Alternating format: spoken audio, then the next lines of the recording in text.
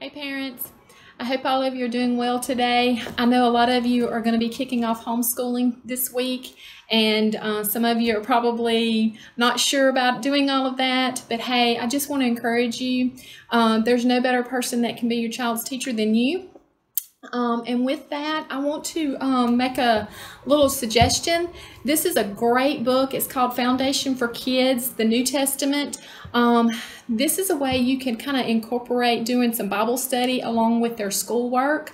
Um, there's some reading plans along with this. And um, so I just, you know, suggest starting that school day off with your kids with some prayer getting in the word that'll this will give you a plan to go by. Uh, it's a little journaling that they can do as well. You don't have to have this book. You can go on their website and you can download their reading plan for your kid. Um, and also, I'm going to be posting a memory verse at the beginning of every week. This will be a part of our lesson that we've had the following week. Um, and just um, you spend the week on that verse and memorize it and learn it.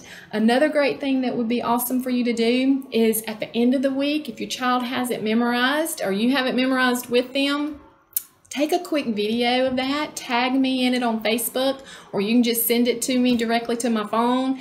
And I would love to be able to share those just to see how much our kids are learning and studying and they're in the Word during this time that we're at home together. I hope all of you are doing great, like I said, and I look forward to seeing you all soon.